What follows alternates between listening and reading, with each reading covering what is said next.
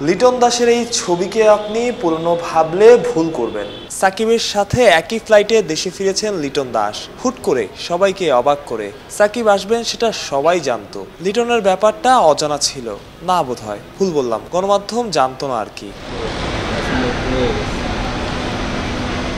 সন্তান সম্ভবা স্ত্রীর পাশে থাকতে কদিন আগেও দেশে এসেছিলেন লিটন। বিশ্বকাপের মাঝপথে লিটনের দেশে আসা এবার নিয়ে দ্বিতীয়। কারণটা একই এবং খুবই যৌক্তিক।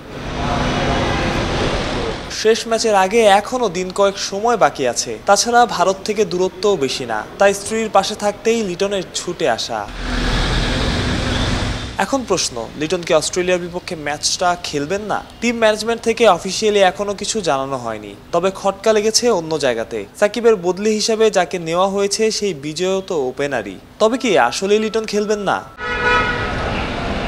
লিটনের কিছুক্ষণ আগে এয়ারপোর্ট ছেড়েছেন সাকিব। যতটুকু জানা গেছে, অস্ট্রেলিয়ার বিপক্ষে ম্যাচটাও লিটন খেলবেন। তার দলের সাথে যোগ দেওয়ার কথা নয় নভেম্বর।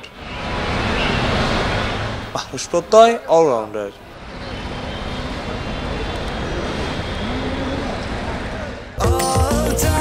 স্বাস্থ্যকর অল টাইম পান সব সময় all time healthy life